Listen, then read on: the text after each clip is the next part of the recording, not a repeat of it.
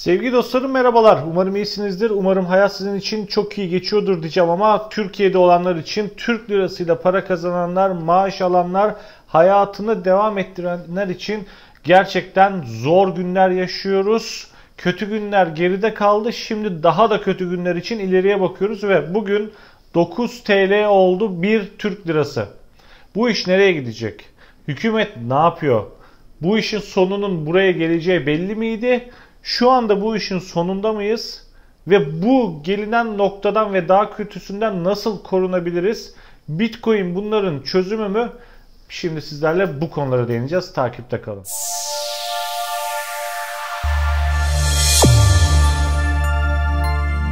Arkadaşlar, Rahip Brunson sürecinden beri hükümetin ekonomi bilimiyle olan bağlantısı, connection'ı, bir şekilde e, bilime olan inancı tamamen kopmuş durumda. Kendi gerçeklerini yaratıyorlar. Dünya gerçeklerinden ve bilim gerçeklerinden uzaklaşmış haldeler. Sayın Cumhurbaşkanı kimsenin kabul etmediği bir teoriyi, ekonomi teorisini bütün ülkenin geleceğini feda etmek üzere, harcamak üzere bastırmaya devam ediyor. İddialarına göre e, enflasyonun sebebi faizdir diyorlar. Bu şey gibi e, yani yağmurun sebebi göller demek gibi bir şey böyle. Hani ne alaka böyle? Hani fırtına çıkacak sebebi gö- göller, göllerin var olması. Gölleri kurutmalıyız. O yüzden der gibi anormal bir teori ile ülkenin geldiği durum belli. Şu anda Türkiye'de halk giderek fakirleşiyor. Sene sonunda ben bu gidişte yani yaptığım hesaplamalara göre özellikle asgari ücretin dünyaya olan e, rekabetinin e, indeksine göre doların 10 TL'ye 10 nokta hatta 2 TL'ye yükselebileceğini tahmin ediyordum. Böyle söylemiştim. Hükümet yaptıkları hatalara göre dünyadaki konjonktürün de izin vermemesiyle 9 TL'de tutabildi ve tutma değil bu. Bu akıp gidecek. Artık para da harcayamıyorlar. Artık Merkez Bankası'nda e, boşa harcayacak, dövizi bastırmak için kullanacak rezerv de kalmadı. O yüzden ne e, esnafa ne iş adamlarına doğru düzgün bir yardım da var. Sadece propaganda var abi. Sabahtan akşama kadar Türk insanı e, televizyonlardan, siyasetçilerden propaganda yiyor ve sürekli e, bu kötü ekonomiyi, bu fakirleşmeyi, bu açlığı kapatmak için farklı bahaneler uyduruluyor. İşte terör bu bahanelerden bir tanesi. E, dış güçler bu bahanelerden bir tanesi. FETÖ bu e, bahanelerden bir tanesi. Amerika, Trump bir zamanlar bu bahaneydi. Şimdi Biden bu bahanelerden bir tanesi. Şimdi yeni yaklaşan PYD bu gidişattan bir tanesi. Şimdi bir de Yunanlar da var. Onlarla da arada böyle e, şey bizimkiler dirsek temasına giriyor. Onların da iç politikasına yardımcı oluyor. Zaten onlar Türkiye'ye diye kafayı yemiş durumlar. Türkiye'de e, Türk siyasetçileri de onu çözdüler. Onlar da Yunanlar da bizimkileri sürekli pompalıyorlar. Şimdi zannederim birkaç tane şehrimiz var yine Allah rahmet eylesin. E, sınırımızdaki PYD rahat durmuyor. Hemen hükümette tansiyonu arttırmak için coşkuyu vermeye başladı. İşte gireceğiz, temizleyeceğiz falan filan. Türkiye e, herhangi bir e, bu PYD denilen teröristlere operasyon düzenlediği zaman o zaman Amerika özellikle Biden hükümeti sert tepki koymaya başlayacak. Sert açıklamalar yapmaya başlayacak. Bizimkiler de şu dolar birden e, tekrar zıplayacak. Bir %30'luk kur şoku daha. Sonra kim yaptı? Amerika yaptı. Bizim Allah'ımız var, onların dolarları var. Sıkı tutun surda delik açmayın diye bağırmaya, e, çağırmaya başlayacaklar. Ya ne yapıyorsunuz siz? Giderek fakirleştik, Venezuela'dan beter olduk dediğiniz zaman da vatan haini ilan edeceksin. Ezberledik abi bu süreci artık. Siz ezberlemediniz mi? Ben ezberledim yani bu süreci.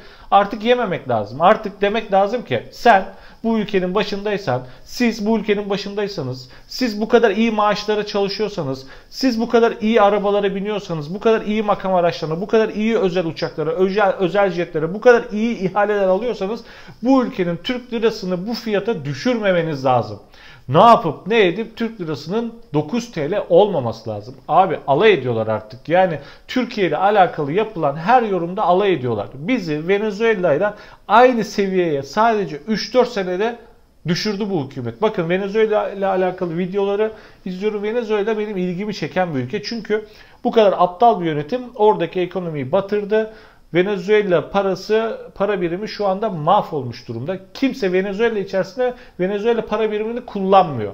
Tamamen dolar kullanmaya başlamışlar kendi aralarında. Halk ticaret yaparken ve e, biz Amerika'ya, Amerikan emperyalizmine karşı geliyoruz diye hükümette milleti bastırmaya çalışıyor. Ulan ne Amerikan emperyalizmine karşı koyuyorsun? Bütün halkın dolar kullanıyor. Kendi para birimini bitirmişsin. Petrol yatağının üzerinde, en büyük rezervlerin üzerinde oturuyorsun. Onları çıkartamıyorsun. Halkın fakirlikten geberiyor. Halkın Amerikan doları kullanmaya başlamış. Ama neymiş Amerika ile mücadele edecekmiş. Benzer benzer bir hikaye geliyor mu? Geliyor değil mi? Aynı şeyleri yaşıyoruz abi.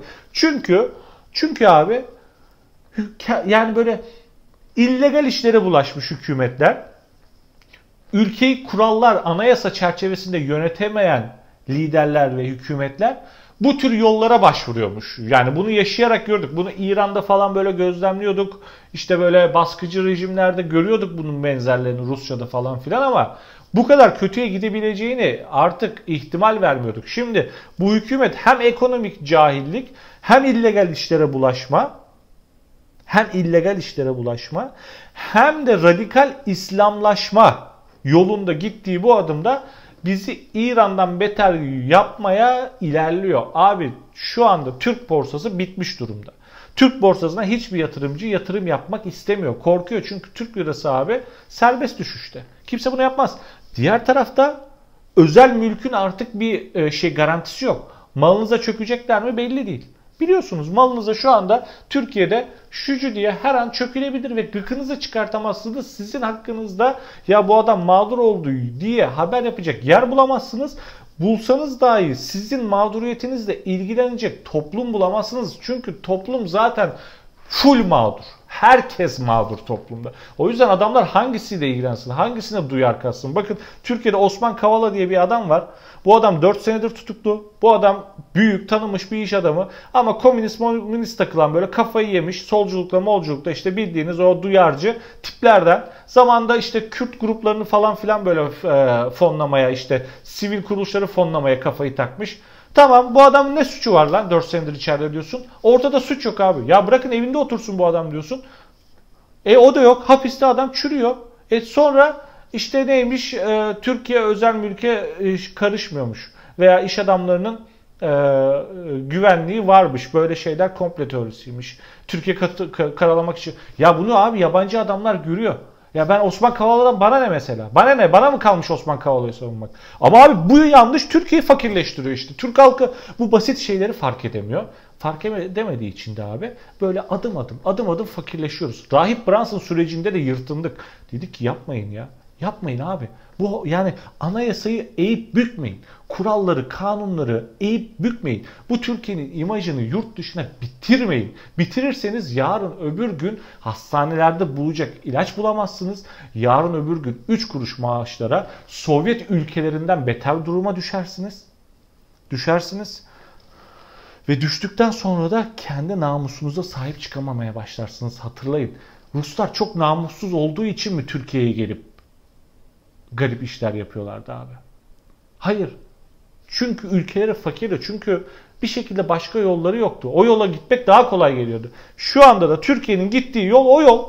Ve kimse doğru düzgün bu yola nereye gittiğini görme, e, göremedi. Tehlikeyi fark edemedi ve hala da hükümet e, bu tehlikenin üzerini kapatmak için garip oyunlar oynuyor. Artık kimsenin bunları yediğini düşünmüyorum. Ha ülkenin bir %30'u %40'ı yiyor. Zaten şöyle bir şey var abi sürekli tekrarlıyorum. Benjamin Franklin'in bir sözü var biliyorsunuz. Diyor ki güvenlik önlemleri için özgürlüğünden vazgeçenler diyor. Özgürlük falan hak etmezler diyor. Hepiniz biliyorsunuz bunu. Yani sen terör kuklasını sana gösterip her türlü özgürlüğünü adam alıyorsa sen de buna okey ya ses çıkartmayalım diyorsan sonunda bu adam gelip cebindeki paranı da almaya başlıyor. Türkiye'nin geldiği durum da bu. O yüzden abi Türkiye'nin böyle gideceğini kabul etmek lazım. Bu hükümet gitmeden Türkiye'de bir şeylerin değişeceğini zannetmiyorum bu konuda. Çünkü artık yabancı sermaye bu hükümetten nefret ediyor abi. Girmez Türkiye'ye. Çünkü bu hükümet bütün güvenini kaybetti yurt dışına hatta yurt içine. Kendi adamları zaten paralarını kaçırıyor. Biliyorsunuz bu Panama belgelerinde. İleriki videolarda zaten değineceğim ona. O yüzden bu hükümet gitmeden bir şey değişmez. Onu ilk başta ha gittikten sonra gelecek hükümet çok mu şey değiştirir? O konuda da emin değilim. O konuda da büyük sorunları var ama bu kadar kötü olmayacağını biliyorum. En azından anayasaya falan böyle biraz hukuka falan insanlar şey yapabilir. Ee, güvenebilir veya normal çarklarına dönebilir sistem en azından diye umut ediyorum. Umut umutkar olmamız lazım. O yüzden bu hükümet gitmeden abi e, planlarınızı iyi yapmanız lazım. Türk lirası kazanıyorsanız paranızı lirada tutmamanın artık ne kadar mantıklı olduğu ortaya çıktı. Şimdi insanlar tabii böyle olunca herkes kripto paralara, shitcoin'lere e, kaçıyor. Abi e, normalde sizi uyarmak isterim. Derim ki yapmayın orada paralarınız daha çok çarşı olur falan ama Türkiye o kadar duruma geldi ki artık dünyayla ne kadar iç içe olabildiğiniz pazar varsa olun. Bu kripto para dünyası da olabilir, bu işte bulut sistem de olabilir, bu yazılım da olabilir, bu grafik de olabilir, bu dış ticaret de olabilir. Yurt dışıyla abi küresel piyasayla alakanız ne kadar yakın olursa Türkiye'deki bu kapandan, sizi köleleştiren bu kapandan o kadar kaçabilirsiniz. Başka da bir yolu yok abi. Başka da bir yolu yok. Bu hükümet bizi Türk halkını kimsenin hayal edemediği kadar kötü ve sefil duruma düşürdü. Ve bu konuda da e, bu sefilliği sürdürmek konusunda da çok ısrarcılar. Hiçbir ders almıyorlar. O yüzden abi önleminizi alın. Babanıza bile bu piyasada güvenmeyin. Dikkatli olun. Bitcoin alın. Helal olsun. Alın abi. Yani bunlardan kurtulmak için alın. Gümüş alın alabiliyorsanız. Zula'da dursun. Altın alın zaten standart alabiliyorsanız. Ama paranızı bu şark kurnazlarına daha fazla kaptırmayın. Evet sevgili dostlarım umarım ciğerim yanarken bu konuda yıllardır yırtınan bir insan olarak derdimi, isyanımı size anlatabilmişimdir. Bir sonraki videolarda bu konuların detaylarına inmeye devam edeceğiz. O yüzden takipte kalın. Sevgiler.